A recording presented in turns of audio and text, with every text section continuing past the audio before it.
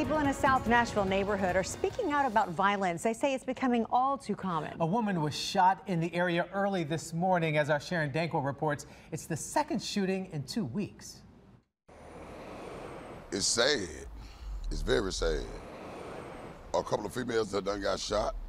Lawrence Clack is talking about a pregnant woman shot last week and now another woman shot in the arm. To be honest with you, man, don't nothing surprise me. I've been here eight years and ain't nothing surprised me that goes on. Police say two men were shooting at each other in front of the market on Lafayette Street. It was around 4 o'clock Thursday morning when witnesses say a woman caught in the crossfire was shot in the arm. It's very seldom a day goes on that we don't hear about a crime that's violent.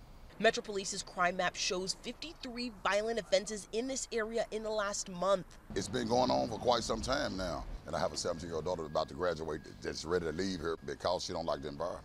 Police say they're using community coordinators to try and help get rid of the crime in the area.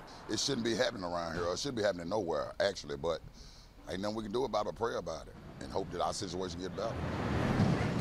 The woman shot is recovering and now working with officers to help track down the shooters. In Nashville, Sharon Dinkwa, WSMV 4.